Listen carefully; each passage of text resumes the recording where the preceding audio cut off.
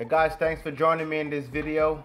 With this video, we'll be going through step by step how to install this DSC system. This is their brand new Neo system.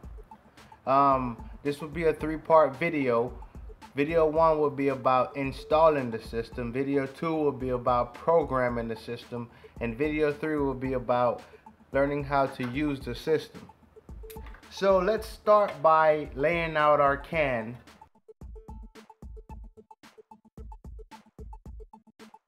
So first we want to use a level.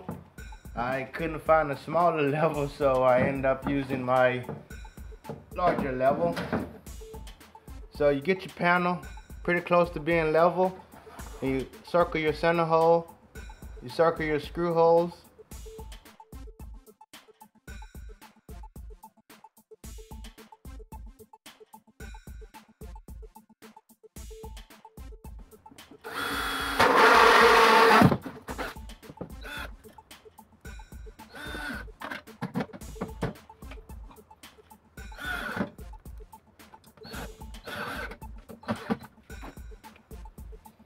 Now that we have the can mounted, it's time to start installing your devices. So next we're going to install our wireless transceiver. This is their wireless receiver. It's called a transceiver because it can do two-way communication. So you can have uh, wireless keypad communicating back with this panel. You can only have one receiver. Um, it's rated to do 1.2 mile line of sight um, wireless and you can add repeaters to extend the signal.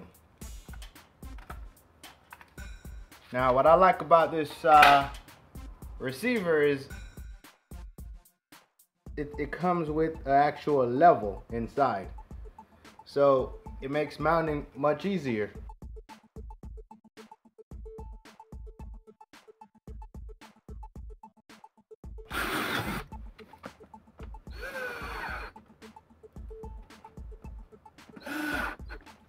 There's actually a different design with these keypad. Take a screwdriver, pry it out on this side. Again, pry it out. Previously, the door was on the actual back of the keypad. And now it's on the actual keypad. Not sure why they went with that design. So I'm gonna find the location that I would like my security keypad to be installed.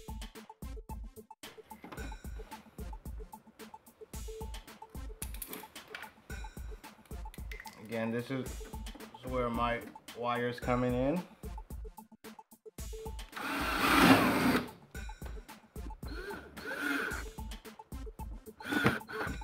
So I'm going to install three wireless devices today. I just mounted this uh, wireless contact. This is normally open and normally closed. So I've already taken the motion detector apart. Just gonna get it mounted.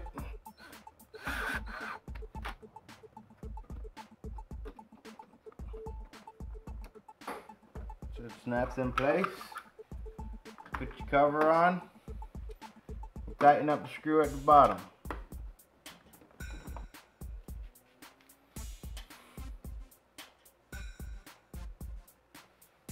And also we have the slimline contact. We'll be installing this as well. So I'll probably place this down here. So I would like to install contacts as if we were doing regular windows and doors. So let's say our window is here. So we'll call this one zone one and zone two.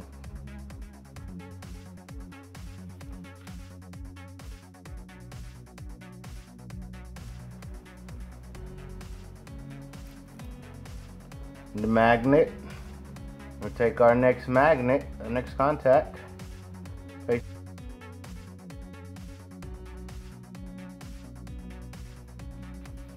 So first thing first, we're going to wire up these contacts.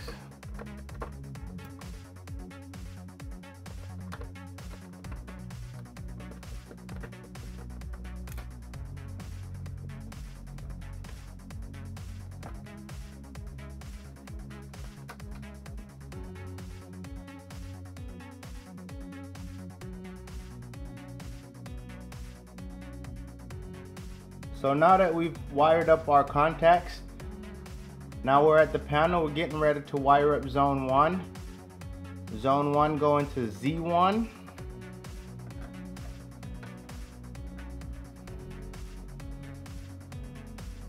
And the other wire going to the common. Now you can't get this backwards, so you'll be fine no matter which way you put the wire. The contacts have no polarity, so it doesn't matter where you put the, the actual wire. Um, let's wire up zone 2 now. Zone 1 and zone 2, they both share the same common.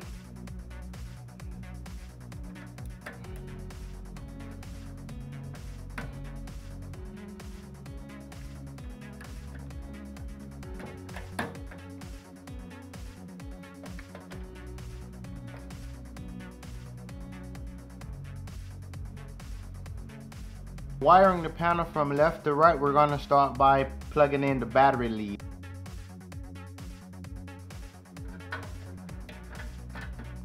So once you plug that in, the next thing you will plug in is the AC. AC stands for alternate current. That's where you will plug your transformer. One important thing to do when you twist when you're getting ready to plug your wire in is making sure that you have your wire twisted and that no strand is hanging off the wire. So now we're going to plug it into AC. There is no polarity on AC. If this was DC, then it will have polarity. With AC, there is no polarity, it's alternate current.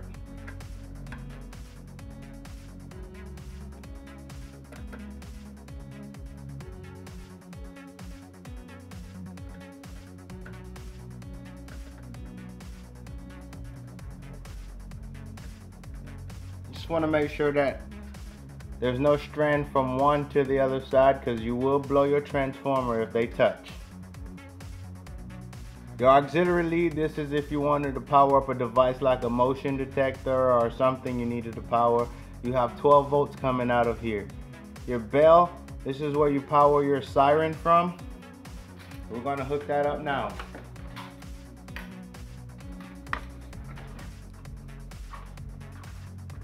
Sirens are polarity sensitive and they will not work if you reverse the polarity. So red goes positive and black goes to negative. All right, next we're gonna wire up the keypad bus. All the keypads go on the same terminal in parallel. Plug in your red. It actually will tell you which color to plug in on the keypad and on the board. Black, yellow. If you didn't have a yellow and it was white, it's the same thing. Use white for yellow, green for green, and green.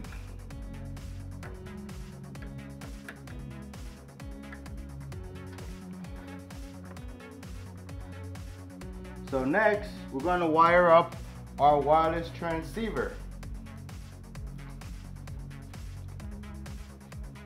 That also goes on the keypad bus.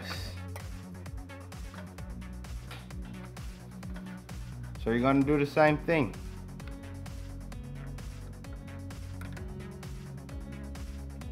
Red.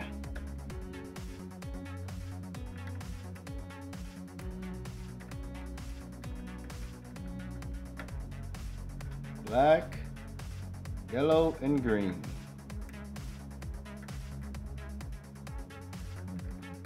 Again, you can only have one receiver on this panel.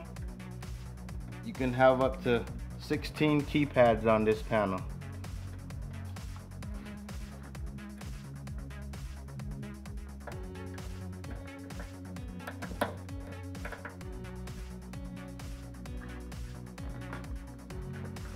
Now in a normal installation, you would definitely want to have your RJ31X it probably come with your kit depending on which kit you pick up from DSC.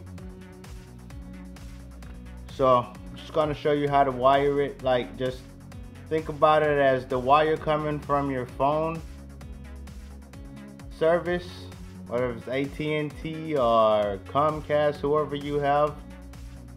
Just plug her in right here. This is your incoming line from the street or your service in.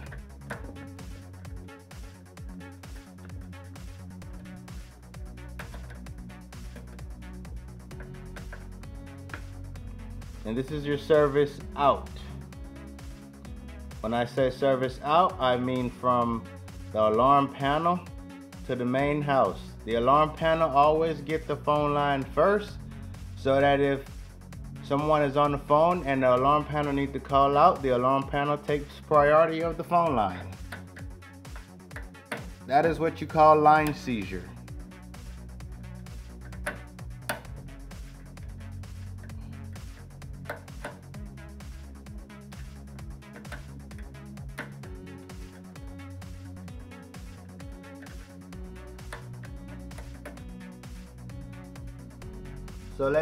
Install our battery. This is a 7 amp power battery. Now this battery here will last approximately 7 hours depending on what's being powered off the panel. Um, I would not power plug the battery in until you have your transformer plug in but let's go ahead and plug one leg of the battery in and whenever we plug in our transformer we just plug the other leg in. So we'll bring the wire in for the keypad.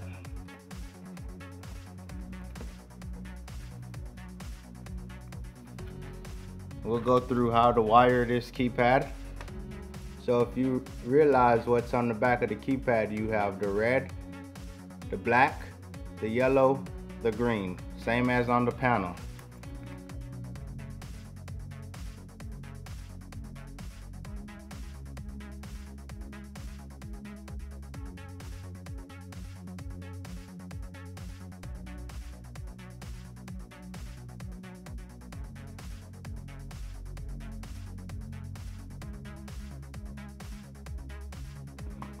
plug your keypad in and it should just snaps in place. Next we're going to wire up the transceiver. Bring the wire through the back.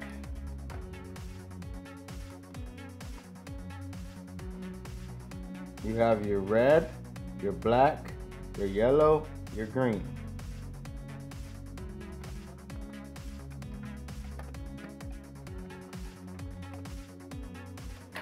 So now you want to put your cover on.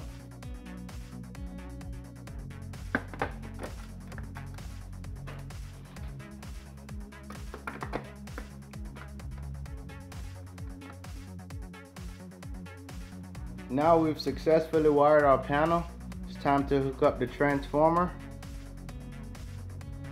And if you notice on the transformer, it has load across these two pins. So that's where you're going to put your AC. This one is a ground pin, so you can literally run your ground from the panel that we just put in to this terminal.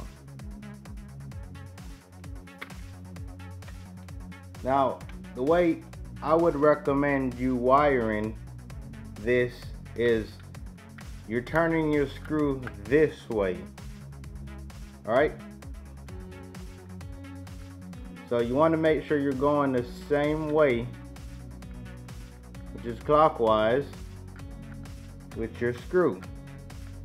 Take your wire that way. Now you do the same on this side. Because if you go the other way, when you start tightening it up, what's going to happen is you're going to start loosening up the, uh, the wire.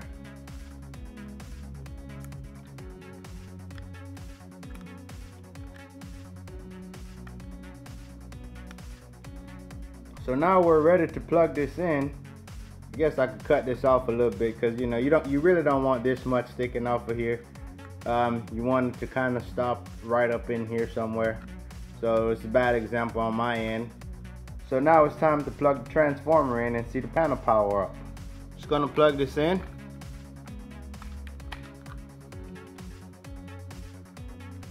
As you see, there's power.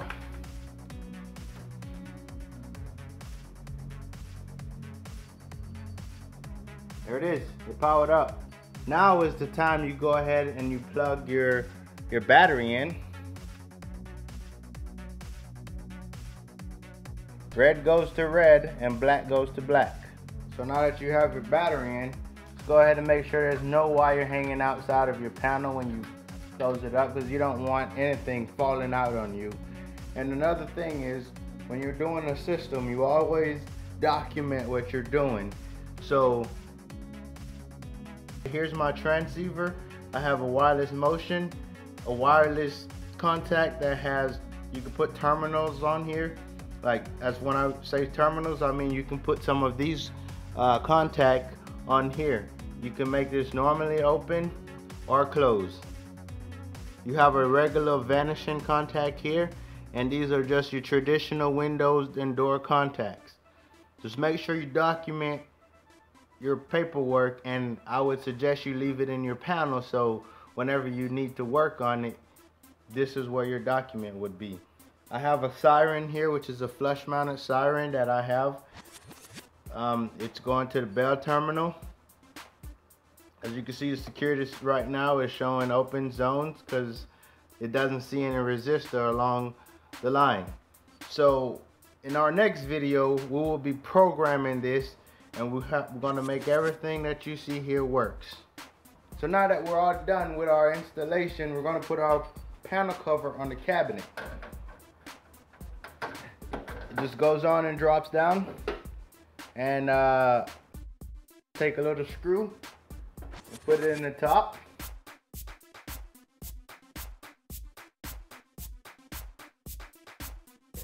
Can also install the lock if you want to purchase that. That's separate. It doesn't come with the system. Again, thanks for watching. And I will catch you on the next video.